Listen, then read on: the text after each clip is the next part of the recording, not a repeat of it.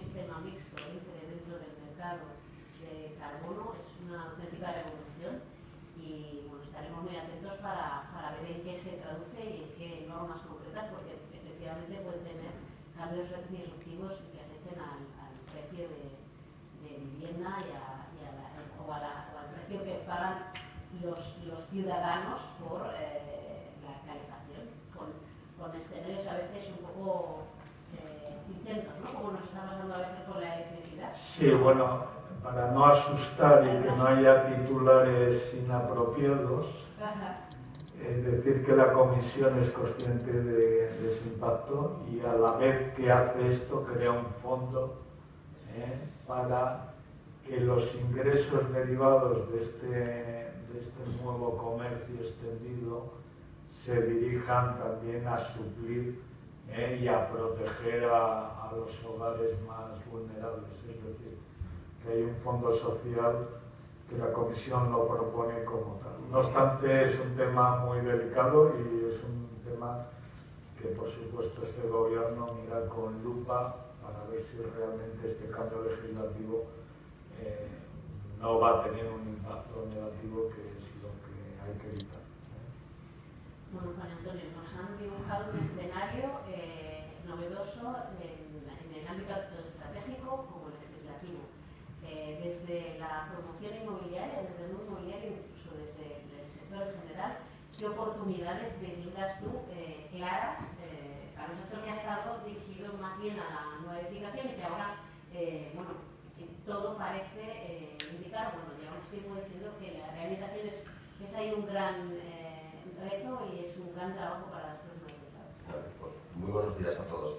Os estaba escuchando y aunque uno está acostumbrado y está leyendo constantemente todos los cambios legislativos y, normativos, no deja de asustar siempre eh, cómo se va cayendo en cascada de lo que se legisla en Europa y cómo viene hacia España.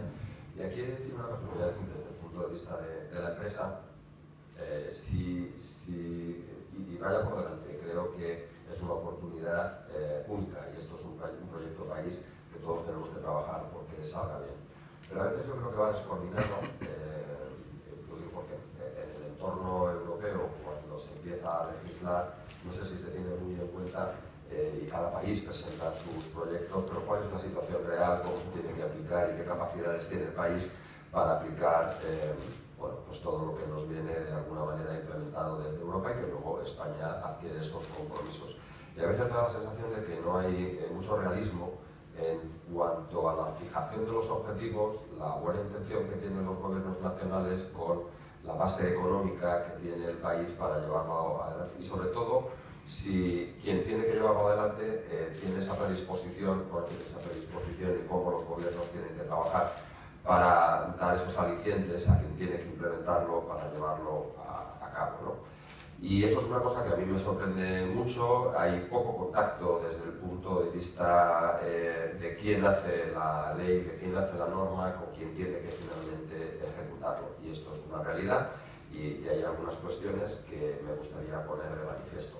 En cuanto a la vivienda nueva, yo voy a decir, vivienda nueva y todo lo que es el mundo de rehabilitación. Vivienda nueva, realmente con, con la aplicación de código técnico, eh, el, el impacto que tienen las nuevas edificaciones sobre la huella de carbono pues es bastante limitado en el sentido de que son edificios muy eficientes energéticamente y probablemente donde tengamos que poner el foco, y ahí hay un trabajo de largo recorrido, será el, el cambio de los usos de materiales que, que venimos eh, utilizando hasta hoy en día. Los materiales que utilizamos en nuestro sector tienen un alto impacto, el acero, el aluminio, el cemento, tienen un alto impacto en el proceso constructivo y bueno, pues me imagino que en el futuro, con procesos de innovación, pues poco a poco se irán eh, sustituyendo en unos porcentajes estos edificios. Y con respecto a la, a la vivienda nueva, más allá de esto, eh, otro factor importante, los, eh, el impacto de la huella hídrica, que también eso es un tema de concienciación y que todos tenemos que tener en cuenta, se consume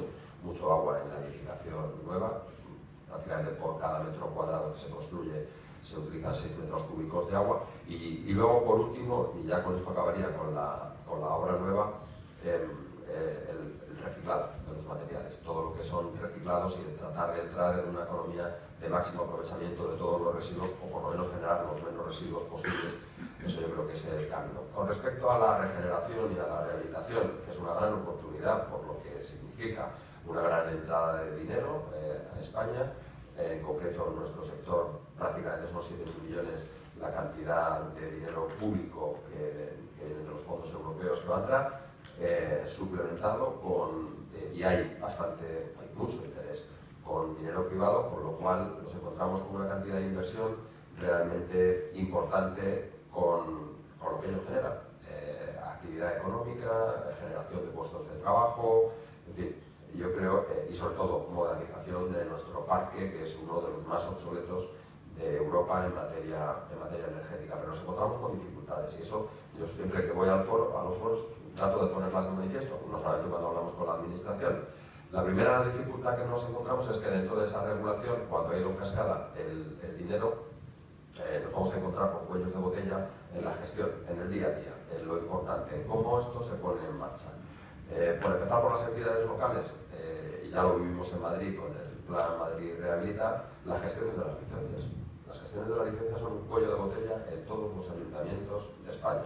Tenemos, eh, y hay trabajos hechos, donde si a las licencias de obra nueva, eh, que más o menos vienen tardando de media entre ocho meses y un año, vamos a meter un plan flujo ahora, porque es obligatorio, eh, si no se ponen otras medidas, de tramitaciones de las licencias para rehabilitar, pues van a haber unos cuellos de botella espectaculares. Con unos, además, con unos objetivos a, a 2023, a 2026 y a 2030 difíciles ya de, conseguir si todo fuese con normalidad. Y esta es la primera cuestión que yo creo que hay que trabajar a nivel legislativo. La declaración responsable eh, es absolutamente necesaria, pero luego es una reticencia en todas las comunidades autónomas eh, a, ponerla en práctica. No sé por qué, y siempre digo, como el mismo ejemplo, si todos los españoles hacemos una declaración responsable todos los años y no pasa nada, hacemos nuestra declaración de la renta y sabes que si te pasas o tratas de defraudar, luego viene el pago por las trabajas.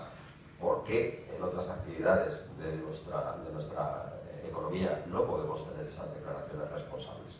Esta es la primera cuestión y yo creo que aquí a nivel, eh, a nivel legislativo hay que tomar medidas y medidas rápidas, porque esto, el contador se ha puesto en marcha y esto no para. La segunda cuestión eh, que yo veo es quién va a llevar toda esa tramitación obviamente las, entidades y las administraciones, pero desde la parte privada, ¿quién va a llevar toda esta gestión de las subvenciones? Eh, hablamos siempre de la figura del agente rehabilitador. Las comunidades de propietarios no lo van a hacer, eh, los administradores de fincas no lo van a hacer y necesitamos una figura flexible, eh, no otra vez generando cuellos de botella como alguna administración se plantea, porque que tengamos esa capacidad de gestión dentro de las subvenciones. Eh, y luego, yo diría que hay que hacer, eh, sobre todo a quien va a tener la mayor carga de desarrollo de, este, estos planes tan ambiciosos, eh, pues hay que darle las facilidades y les tenemos que convencer que es bueno, obviamente a largo plazo, pero que en el corto plazo el que tiene que tomar la decisión de invertir dinero para eh, obtener esos réditos a largo plazo le merezca la pena. Entonces, ahí estamos con las comunidades de propietarios, porque otra cosa serán los edificios públicos, que estos llevarán su camino, o las grandes actuaciones municipales en grandes barrios donde haya vivienda pública, eso será otra cuestión. Pero el grueso no está ahí, el grueso está en las comunidades de propietarios.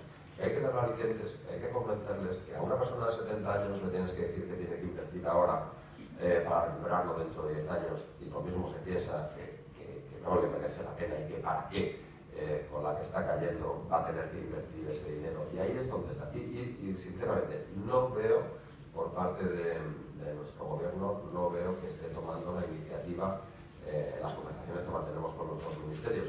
Y a poner una, por ejemplo, si la subvención que va a llegar a una familia media va a tener que tributar en renta eh, el, ejercicio que viene, pues la verdad, me dice, oye, voy a ir a, renta, voy a ir probablemente a los tramos más altos, me van a descontar un 40% de esa subvención, más o menos.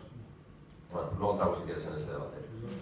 Luego entramos en ese debate. Pero esa subvención, y te lo digo porque hay eh, entre conversaciones entre el Ministerio, entre el MITMA y el Ministerio de Hacienda, y Hacienda quiere que compute en renta eh, al año siguiente después de recibir esa subvención. Pero, perdona, déjame, déjame, déjame terminar, luego, luego si quieres intervenimos. Pero esa es la realidad, quieren que compute. Y entonces, eh, y hay una lucha importante entre el MITMA y el Ministerio de Hacienda, y esa es la realidad. Y he estado con los dos secretarios de Estado. Esa es la realidad. Entonces, hay que tomar medidas pues, para que esa cantidad de subvención, bajo mi punto de vista, no tribute. Porque si tributa, probablemente mm, quien tiene que tomar la decisión, que son las familias, va a considerar que no merece la pena. Esa es la realidad. Hay que eh, darle incentivos, no solamente con las valoraciones o los incrementos de vivienda, que sí, me parece muy bien incrementar la de vivienda, pero si no la voy a vender, ¿para qué me sirve? En fin, oye, y yo soy un convencido de que esto, de que esto hay que hacerlo. Y por último, ¿Quién tiene que ejecutar? Eh, al final son las compañías que tienen que hacer las rehabilitaciones. Tenemos un serio problema, y además esto es, eh, esto es ya estructural, tenemos un serio problema en quién va a desarrollar, eh, por tema de obra me refiero. no tenemos suficiente gente dentro de nuestro sector para cometer a esta velocidad que se nos está pidiendo y venimos pidiendo desde hace mucho tiempo y reiteradamente cambios en la formación profesional para que de alguna manera poder tener esos sustitutos eh, de la gente que se va jubilando. Por dar un dato, en 10 años en nuestro sector se jubila más del 40% de personas que están ahora mismo activas. Es un dato escalofriante y esa es la realidad. Entonces, porque está muy bien, eh, es un programa que tenemos que acometer, son eh, inversiones que tendremos que realizar, pero yo insisto, hay que dar los medios necesarios para que esto se pueda llevar a cabo. Y por último, eh, y ya con esto termino. Entramos en la polémica de lo Hacienda. Eh, eh, hay una cuestión que es evidente. En España tenemos un gravísimo problema estructural, que es la falta de capacidad de acceso a la vivienda. Todas estas medidas que vamos tomando no son baratas.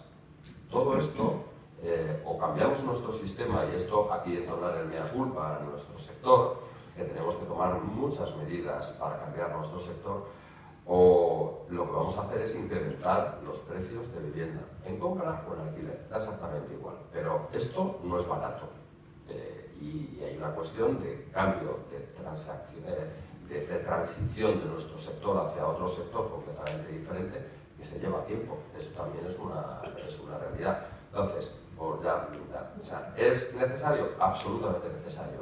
Eh, es, es proyecto país y tenemos que llevarlo adelante, tenemos que llevarlo adelante Ahora, no nos tenemos que perder, de, las, hay que bajar las musas al teatro y saber que allí donde están las limitaciones hay que dar las herramientas a quien tiene eh, la labor de, de, desarrollarlo, de tomar las decisiones de inversión, porque si no, a mí me parece que va a ser muy difícil. Se hará, sí, pero a destiempo. Esa es un poco la sensación que a mí me da. Bueno.